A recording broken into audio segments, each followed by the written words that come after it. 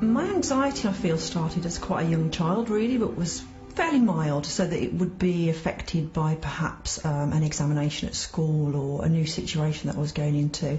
And I found that as I went into my adulthood, it became a little bit more severe, um, so that it would sometimes affect me doing day to day activities.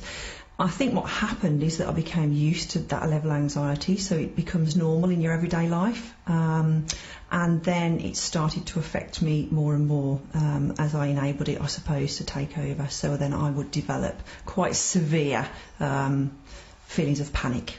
I would experience symptoms such as um, difficulty swallowing, feeling aware of my breathing and my heart rate, very, very sweaty, and just a feeling of dread and panic inside. I remember one day driving out of the village that I live in and actually getting to the boundary and having to come back home and just bursting out crying to my husband saying, I just can't go past that boundary.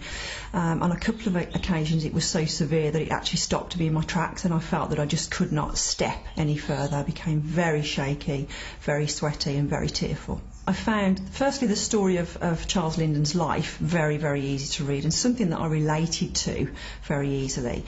And I think that putting into practice the relaxation, visualization, and diversion really for me is also really important.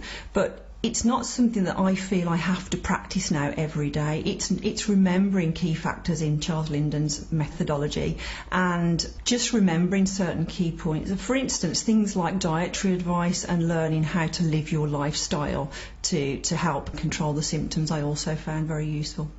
I think now I just feel that it's me who's in control of my life. I tend to go out and grab opportunities that come to me.